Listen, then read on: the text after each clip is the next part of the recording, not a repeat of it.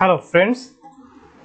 You can see that there is a wheel and today I'm going to show you how to draw this wheel in AutoCAD 2D so let's begin. Just move this one in one side. Okay. At first select circle. Now draw a circle and radius will be 10 enter now draw another circle. Radius will be 45 another one.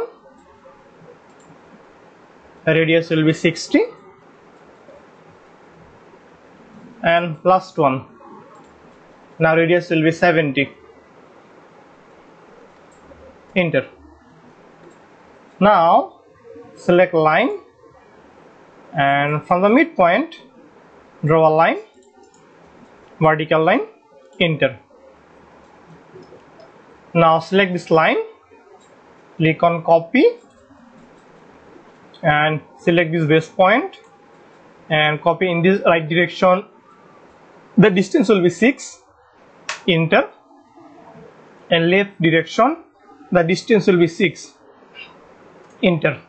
Enter again now select the middle one and erase. And now select the object and click on trim. Now trim the extra portions. Trim this one.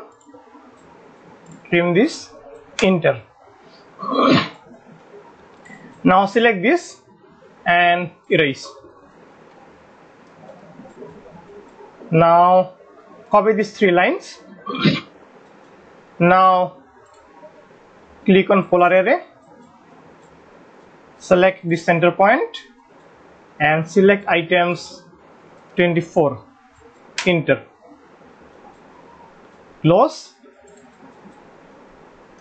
Okay. Now select this object. Now from the keyboard write ex now click on explode. Now select the object and click on trim. Now trim the inner portions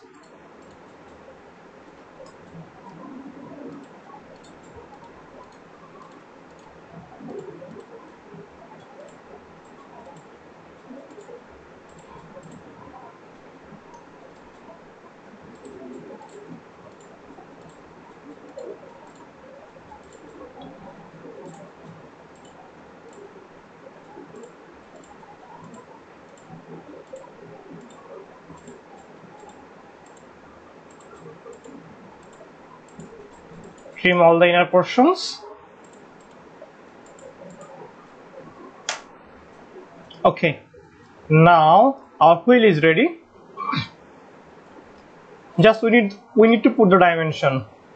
So go to dimension bar click radius. Now just put the radius. It is 10 this one is 45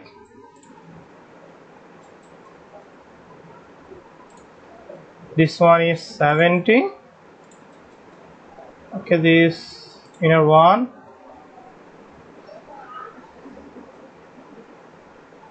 Is 60 and now aligned one. So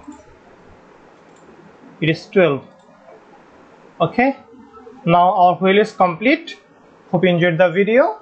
Don't forget to subscribe if you are new. If you have any question ask in the comment box. Like the video share with your friends. Thank you